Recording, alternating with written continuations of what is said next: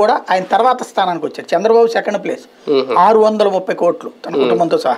ఇతనికి అతని కుటుంబంతో సహా పదిహేడు వందల ముప్పై కోట్ల రూపాయలు ఉంది.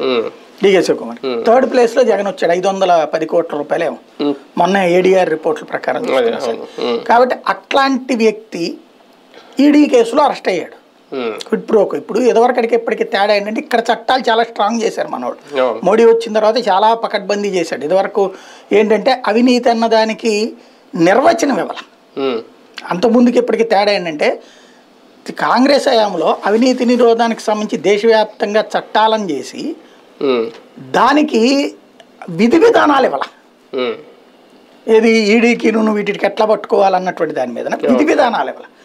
మోడీ వచ్చాక విధి విధానాలు ఇచ్చాడు.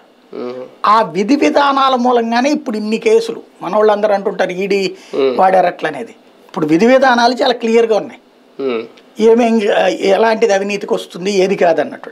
అంతకుముందు కాంగ్రెస్ జనం కోసమే మేము దేశంలో అవినీతి నిరోధన ఎందుకంటే వాళ్ళ మీద వరుస పెట్టి అవినీతి అభియోగాల కారణంగానే కదా గవర్నమెంట్ పడిపోయే పరిస్థితి వచ్చింది. ఉమ్, అప్పుడు ఈ కల్మా కల్మాడి స్పోర్ట్స్లో కుంభకోణం తర్వాత ఇది ఆసియన్ స్పోర్ట్స్ సంబంధించినటువంటి కుంభకోణం జరిగింది. అట్లాగే ఈ కనిమొళి రాజా ఇట్లాంటివన్నీ వచ్చినప్పుడు ప్ర ప్రజల కోసం కాంగ్రెస్ ఏం నాటకం ఆడేదంటే ముందు వాళ్ళ వాళ్ళైనా సరే వదిలిపెట్టదన్నట్టు అరెస్ట్ చేయించి ఆ తర్వాతన వాళ్ళకి నిదానంగా ఆ కేసుల్లో సాక్ష్యాలు లేకుండా ఈ టెక్నికల్ పాయింట్స్ మీద బయటకు వచ్చేవాడు.